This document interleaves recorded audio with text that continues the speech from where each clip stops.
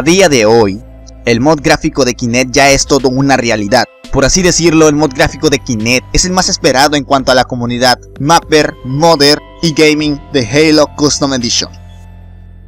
Y en contexto, si no sabes qué son los mod gráficos, te lo explicaré aquí en pocas palabras. Los mod gráficos son aquellas pequeñas modificaciones gráficas que se le hacen a un juego, dándole un aspecto más actual, pero sin modificar su jugabilidad. ¿Qué onda gente de YouTube? ¿Cómo están? Espero que estén bastante bien. Yo soy TeddyXD, como todos saben, el creador del canal TeddyXD o Team 006, que muy pronto va a cambiar su nombre, ¿vale? Porque literalmente el nombre es bastante largo y es un tema que luego voy a explicar, ¿vale? Luego, luego, luego, no se preocupen, no se preocupen. En el día de hoy les vengo a traer el mod gráfico de Kinect, lo bueno, lo malo que trae dicho mod, ¿vale? Actualmente es conocido como KGM 2019, ¿vale? Voy a dar mi punto de vista referente a este mod. Voy a dar lo que es mi crítica. Pero bueno, basta de tonterías y vamos a comenzar con el video, ¿vale? Pero antes que nada, te invito a que tú mismo pruebes este mod que aquí en la descripción del video estará. Si tienes que ir a Custom Edition, obviamente. Así que, yo que sé, es tu decisión. Ahí te lo dejo. Ahí lo dejo y me alejo lentamente. Así que, sin más interrupciones, comencemos. Antes de empezar lo que vendría siendo la crítica, tenemos que saber quién es Kinect y qué mods gráficos ha sacado en todo este tiempo. Muy bien, así que voy a empezar explicando quién es Kinect. Kinect es un modder de Halo Custom Edition actual. No sé si era anteriormente un mapper, pero se pasó al modo modder, ¿vale? Aunque para mí en realidad sí era mapper, yo que sé. La cuestión es que Kinect, pero Kinect si muy pocos saben, ¿vale? Si muy pocos saben, que a esas alturas pues dudo que sepan, ¿vale? Dudo que no sepan, pues Kinect trabajó en un mod gráfico. Tras la salida del Hack 2 y la compatibilidad de esto, o de esta herramienta, no sé, para el juego, podíamos observar que Kinect nos trajo una joyita, como dicen, ¿vale? Vale. Eh, vamos a explicar cuáles. Si no sabes de lo que estoy hablando, hablo de mod gráfico KGM del 2015 al 2016 que hubo y rondaba por ahí por todo internet de YouTube en cuanto a los canales que subían Halo, ¿vale? Hablo del mod de Kinect del 2015. Dicho mod se estrenó el 27 de septiembre del 2015 y es que el mod era bastante bonito, bastante bello, hermano. Bastante... Así como que... Ya tú sabes, ¿no? El mod traía buenas cosas. Pero obvio, el mod no se llamaba KGM en ese momento. Tenía otro nombre. Y eran dos. Dos nombres tenía este mod. Por así decirlo, el mod no era tan canon su nombre. Por el momento. Así que esos dos nombres serían estos. BG de Blood Gulch guion Graphical Mod. Y el segundo sería The Ultimate Texture Mod. Estos eran los dos nombres oficiales para en aquel entonces que tenía el mod. Pero obvio decías, vaya qué maravilla, se ve bonito, bonito. Sí, pero como toda cosa, también trae errores. Y uno de ellos era el error más común que todos, todos presenciamos cuando recargábamos al 100% la sniper. O sea, disparábamos cuatro veces y cuando recargábamos nos presentaba este error, este bug, ¿vale? Por así decirlo. Las texturas se bugueaban, el Spartan como que su brazo se hacía bien raro, o sea, lo están viendo en pantalla. Pero fácilmente se podía evitar recargando a partir de tres balas. Después de un tiempo, Kinect nos trajo, por así decirlo, la visualización del mod gráfico que andaba trabajando en, ocultas, ¿vale? Y es que la verdad ya era bastante bueno. Él nos confirmó que este mod era la versión 2.2. Bueno, después de un rie... Después de un tiempecillo, ¿no? Porque mira, traía bastantes cositas. Pero bueno, pero bueno, bueno. Todo bien correcto. y era lo que más esperábamos. Y llega ante ustedes el tráiler de Halo C versión 2.2. ¿Vale? El Halo C mejorado. Halo C actual. El cual tenía texturas estilo SPV3. ¿Vale? SPV3. Que era el, por así decirlo, el hype que traía toda la gente en aquel entonces. Y es que, seamos sinceros, el mod se veía bien, se veía bonito, chulo, hermoso, con sus únicas texturas que traía. La sniper, por así decirlo, era de las más corregidas. ya ves tú. Y pues todo lo demás. Vale, sí, sí, probé el mod. Sí. Este mod lo probé al igual que el anterior, como vieron en el video pasadito, así, muy pequeño. Uh, este mod no me corría para nada en mi PC, porque en ese tiempo tenía como una tostadora, por así decirlo, eh, y no me lo corría muy bien. Claro, tienen un ejemplo, tienen un video más bien, aquí en mi canal, cual se llama el elotero o algo así le puse de nombre porque me estaba enfrentando con uno con este mod gráfico en el mapa Blood Watch, así que pasa a verlo.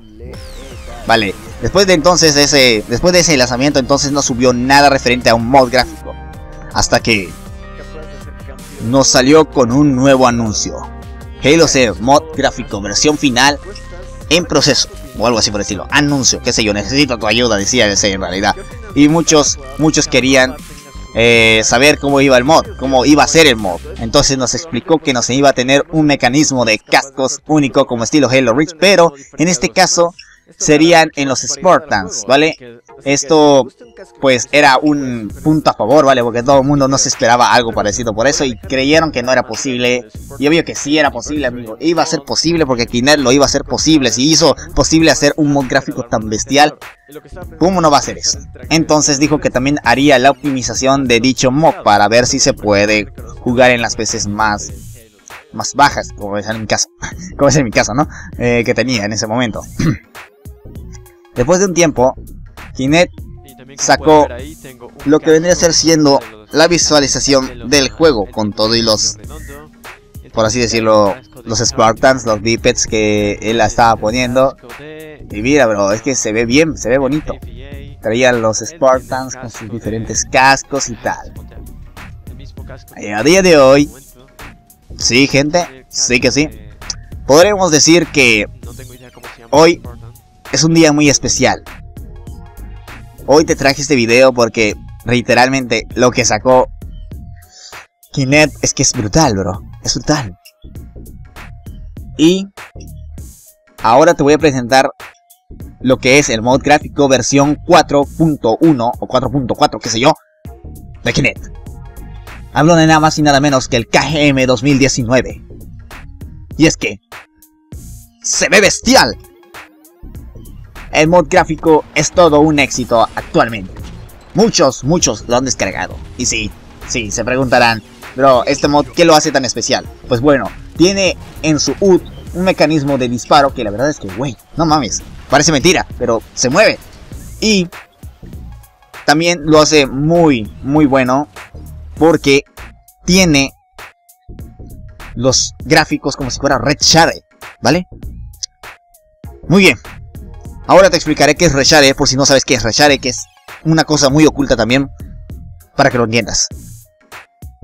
Reshare es un mod que gráficamente altera al juego, pero no altera al mismo tiempo el juego, o sea, le da más detalles. Y aquí, como pueden presenciar, estaba haciendo una especie de, qué sé yo, combinación de efectos que trae, como si estuvieras poniéndole efectos a un video, lo mismo, pero el juego en tiempo real.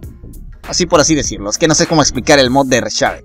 La cuestión es que estás viendo aquí en pantalla que yo con estos efectos puedo crear inclusive un buen video. Los, mod, los efectos que trae este mod no se comparan a los NB series, ¿vale? No se comparan. Y es que se ve brutal esto, esta calidad que están presenciando, ¿verdad? Bro, es que no puedo entender por qué existe un mod tan, tan bello. Pero bueno, volviendo a lo anterior. En el día menos esperado, Kinect nos trajo su mod para descargar. Haz de cuenta, tú estoy casual ahí viendo unas notificaciones. No, viendo un video por ahí en YouTube y me sale la notificación, le doy clic y veo ya. Mod gráfico de Kinect, versión 4, para descargar. Link en la descripción. Yo. Sin madres. Para ser sinceros, es mi opinión personal, no es una opinión grupal ni nada por el estilo, ¿vale? Solo simplemente quiero decir lo que realmente para mí significa este mod. Y bien, como te dije, te voy a decir lo bueno y lo malo que trae dicho mod. Para empezar, el mod es solo un mapa. Ha salido para Blood Gulch, el mapa más jugado de todos. Pero si te preguntas por qué rayos ahí lo hacen, pues ahí está tu respuesta, que es el más jugado de todos. Los bugs que encontré en este mod, precisamente en este mod, son muy poquitos, ¿vale? Muy poquitos, ¿vale? Pero tengo que decirlos. Y no solo son bugs, sino cosas faltantes también del mismo.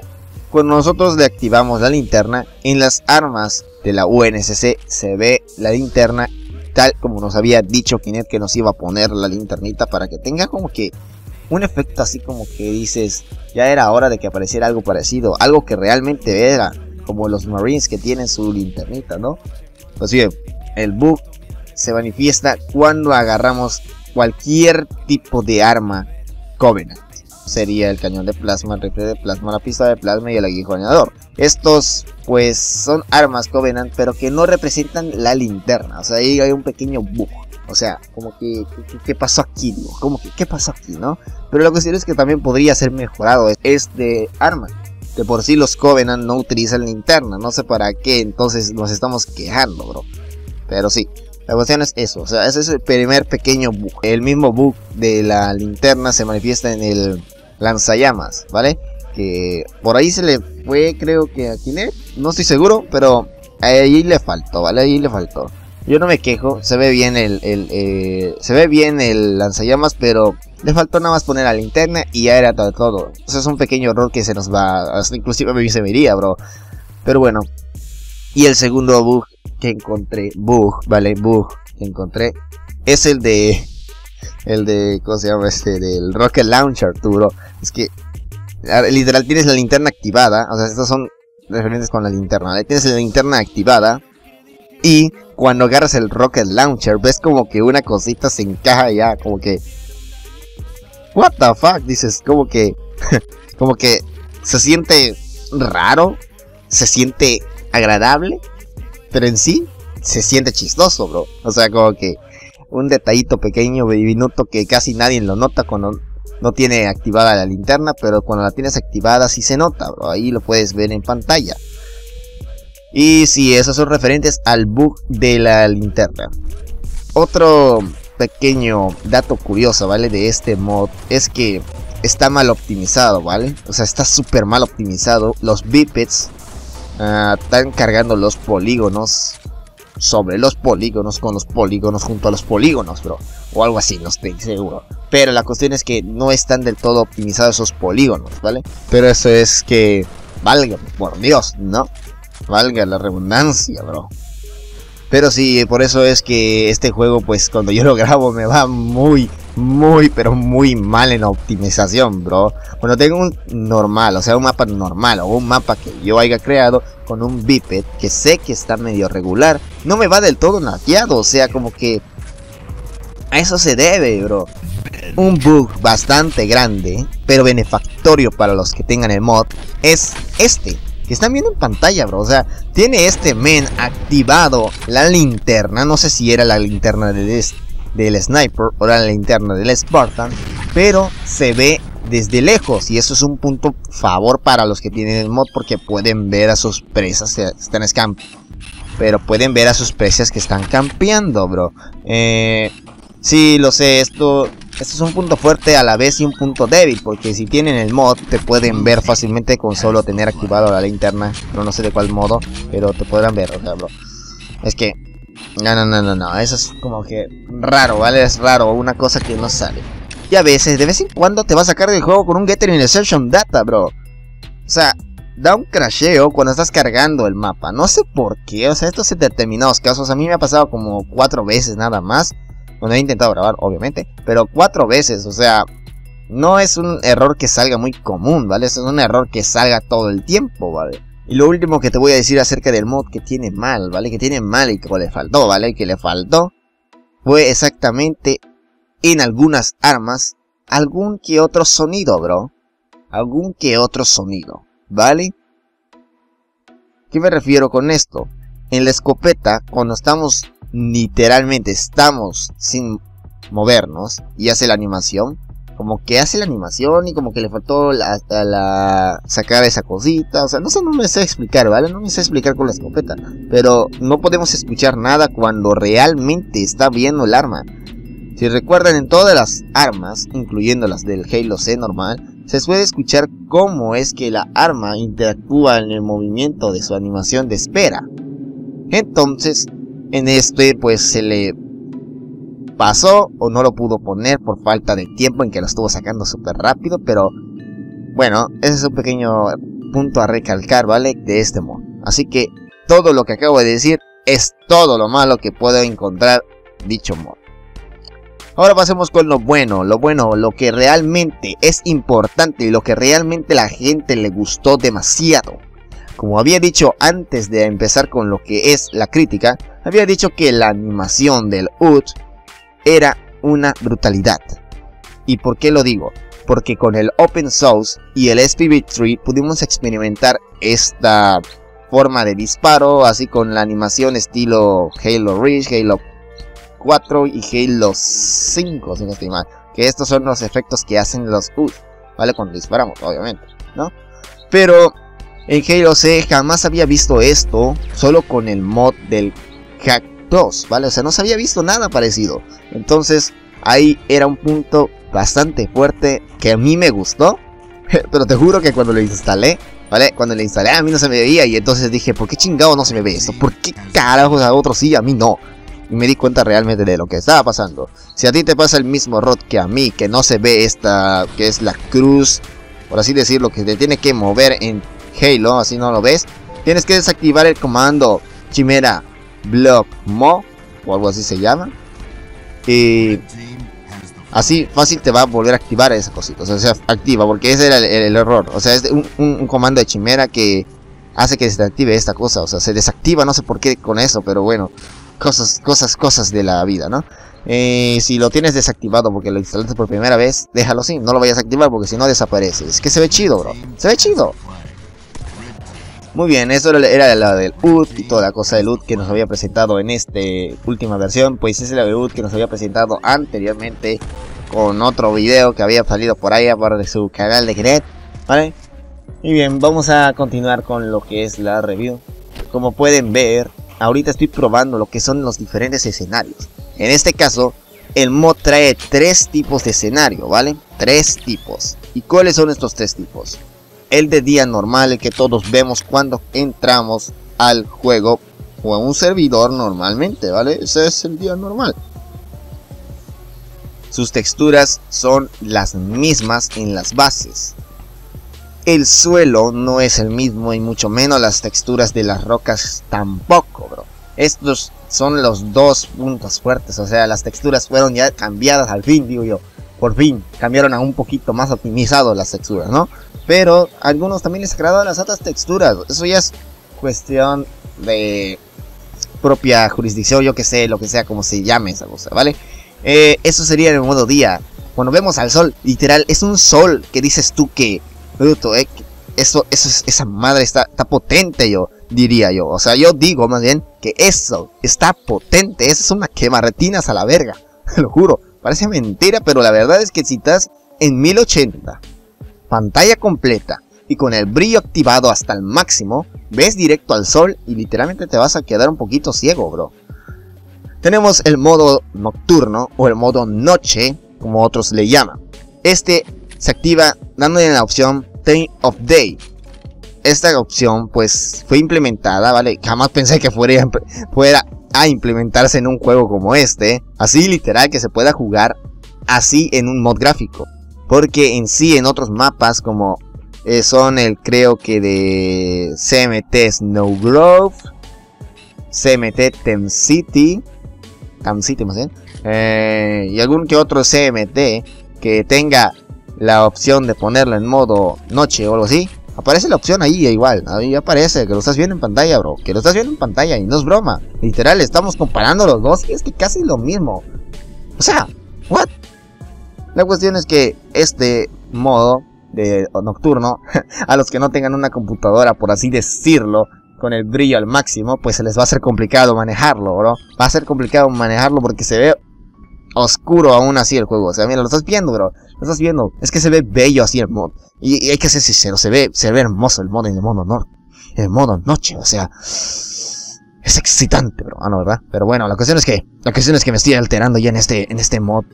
Es que la verdad es un mod bastante bueno, o sea, estas es las cuestiones buenas que tiene este mod. O sea, bro, ¿qué rayos? ¿Qué cojones? Sí, vale, me estoy, me estoy, me estoy yendo de la, del límite de mi capacidad mental de entendimiento ahorita para que me entiendan ustedes, ¿vale? Pero, ven, vamos a continuar. El modo oscuro es el mod, el modo más, que a mí me, más me gustó, ¿vale? Me agrada mucho más que el mod de día. Y bueno, es tercer y último escenario que tenemos es el de modo invierno o modo nieve, como le quieras llamar pero la cuestión es que este se activa por medio de un comando. ¿Cuál es el comando, mi estimado Teddy XD? Pues bien, el comando está apareciendo en pantalla. Nada más y nada menos que en la consola de Halo C, normal, la original, la consola que activas la munición infinita, la cámara voladora y todas estas cosas, ¿vale? Ahí vas a poner este comando que está apareciendo en pantalla. Switch-BSP espacio 2. Una vez escrito eso, le das en Enter y automáticamente te va a salir el modo nieve. Y tú dices, What the fuck, esto, esto, esto ya, no me lo esperaba, diría yo. Yo cuando lo vi en el directo de Kinect que hizo una vez, yo dije, ahora sí se le ha seguido de la mano, bro. Ahora sí que ya no, ya no sé qué voy a hacer, digo yo. Sé, es que esto ya, ya, es otro nivel y es que esto ya, ya parece mentira. Es que ya estaba trabajando en lo final, final, final, bro. Y es que, ¿what? Digo yo. Ok, ok, ok, ok, ya, ya, ya, ya. Ahí ya hemos terminado con lo que es la visualización de los escenarios. Ahora vamos a continuar con los... Ahora vamos a continuar con lo que son los vehículos. Como saben, los vehículos pues no cambiaron mucho en el tema de texturizado, no cambiaron mmm, casi nada en realidad, porque son los mismos vehículos que vimos en las anteriores versiones, pero un poquito más, así como que más casi optimizados, podríamos decir así. En cuanto a los cambios bruscos que se llegan a ver muchísimo más, son el cambio del Warthog y del Rocket Warthog, que esto fueron cambiados sus texturas. Y es que la verdad es que los ves y los comparas con el anterior mod y el ante anterior mod a ese mod, que fue la versión 2.2, ¿vale? Pues se ve claramente el gran cambio de texturizado. Me agrada más estos Warthogs así como se ven actualmente, ¿vale? Porque siento que así los puedo ver, ¿vale? Así los puedo ver mejor, por así decirlo. Eh, me siento cómodo, ¿vale? Me siento yo cómodo. En cuanto al Ghost y en cuanto al Banshee en cuanto al Scorpion, pues siguen siendo los mismos que las anteriores versiones, aunque un poquito menos detallado, podríamos decir así. Pero bueno, es que eso ya no es tan importante, eso es normal. Los sonidos han cambiado un poco, ¿vale? Han cambiado un poquillo, o sea, no tanto, no tanto los sonidos de las armas y de los vehículos, ¿vale? Pero cuando nosotros disparamos con el Rocket Warthog o con un Rocket, podemos ahora ver lo que es el misil. Y es que, digo, ahora sí, ahora sí ya sabemos por dónde puede venir. El mod de por sí se ve bien, las armas se ven bien. O sea, a primera vista se ven a leguas, más bien se ven bien. Y una cosa, una cosa, un detalle pequeño, diminuto, pero que todos pueden ver, es que si nosotros tenemos la escopeta agarrada, tenemos color azul la cosa esta, ¿no? Entonces cuando vamos dispare y dispare y dispare y dispare, empieza a cambiar de color como si fuera el SPV3. Tenemos tres colores en el SPV3 y tenemos tres colores en esta escopeta. ¿O eran cuatro en el SPV3? No estoy seguro, no lo sé. Muy bien, cuando agarramos la escopeta, lo primero que podemos ver es que tiene un color azul, ¿vale? Esto representa que está completamente la escopeta recargada. Cuando nosotros gastamos 4 balas, este tornará a un color amarillo anaranjado, creo yo. No estoy seguro cómo experimentar el color muy bien, ¿vale? Después de que gastemos las otras 4 balas, que en este caso ya serían 8 balas ya gastadas, este pasará a ser un color rojo, ¿vale? A un color rojito. Y al último, cuando gaste las balas y empieza a recargar, va a empezar a cambiar conforme vayas recargando. O así decirlo, o sea, cuando pase al 9 ya tiene azul, cuando pase al 5 ya tiene amarillo. O sea, así de simple, ¿vale? Esa es la escopeta, es un punto muy bonito, ¿vale? Y en el Rocket Launcher podemos encontrar que técnicamente disparas y hace la animación de la cosita esta que les había dicho Kinect, ¿vale? También en el Plasma Cannon o en el cañón de plasma podemos ver que esta cosita gira.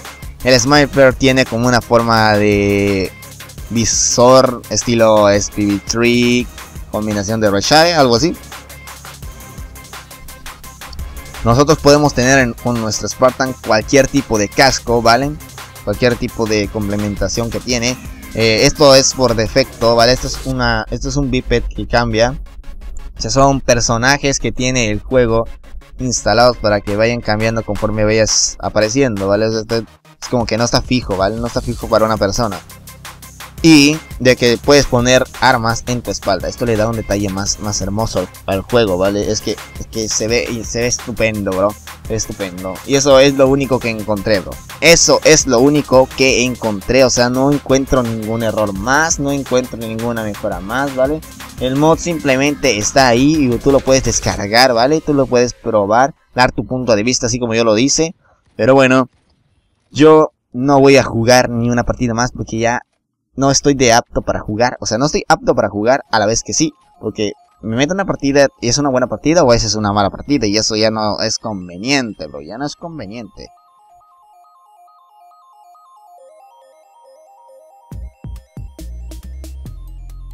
En conclusión, del mod para mí es una versión buena y una versión un poquito mala.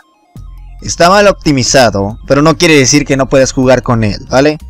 Es un mod bastante bueno, bien trabajado y es que la verdad espero mucho de él. Como les digo, yo soy un modder, o sea, y ustedes ya lo vieron, yo soy un modder. Y para mí, en mi opinión personal, esto que es el mod de Kinect, pues es muy, pero muy bueno. O sea, tiene futuro. Así que, no sé, quien diga que el mod es una completa basura, que es una completa mierda o algo así por el estilo, es porque realmente no sabe apreciar lo bonito y lo bello de lo que es la mejora gráfica. Pero sin más dilatación, sin más nada que decir, yo he sido Teddy comentando lo que es el mod gráfico de Kinect versión 4 creo.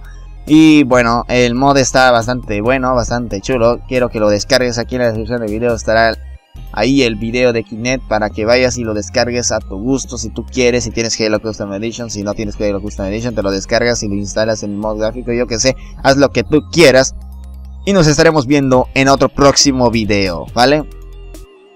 Así que, adiós.